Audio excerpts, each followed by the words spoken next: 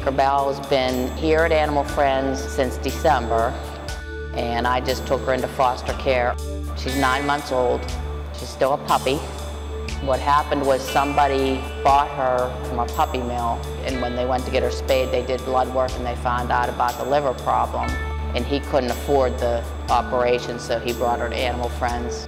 With her liver problem, she drinks a lot and pees a lot, but if you take her outside, she has no problem going outside, and she pees every time you take her out. So she's already trained.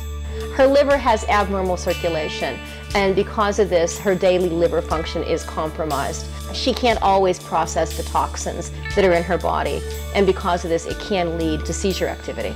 Surgery can definitely help her, and it may even cure her. We are sending her to Ohio State University Hospital because they are the only surgeons in the area who can deal with her specialized surgery.